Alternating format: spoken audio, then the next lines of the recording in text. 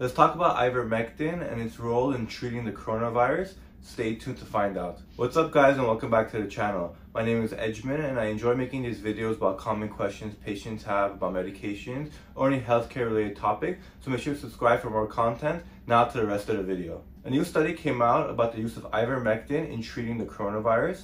This study was done in vitro, meaning outside the human body, so typically in a test tube. So we have to take the results with a grain of salt because in vivo studies, which mean inside the human body, are more practical in determining whether or not a medication is effective against treating a disease in a human. I'll also put a link in the description below so you guys can refer to the study. As a brief review, ivermectin is an anti-parasitic medication, but also has antiviral properties against certain types of viruses. Now, how does ivermectin relate to the coronavirus or COVID-19? We know that the coronavirus is an RNA virus, and like most viruses, its main job is to replicate itself.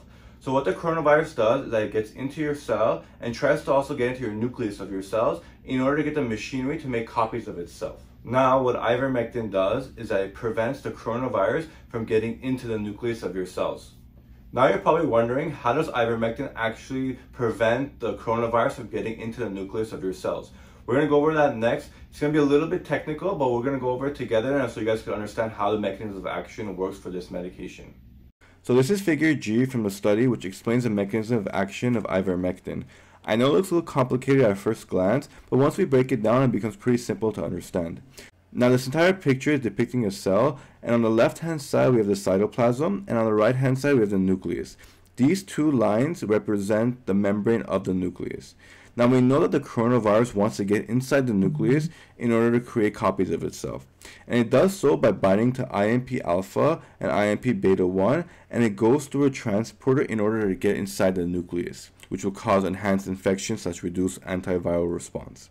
Now, the theory is once ivermectin is inside the cell, it'll prevent the coronavirus from binding to IMP alpha and IMP beta 1, which will in turn prevent the coronavirus from getting inside the nucleus and thus prevent the coronavirus from replicating itself. The in vitro results showed 99.98% reduction of coronavirus after 48 hours or 2 days of treatment with ivermectin.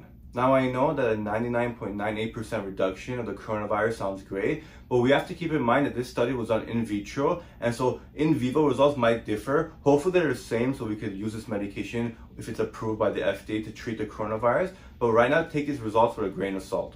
In addition, the study did say how there was no toxicities reported with ivermectin use.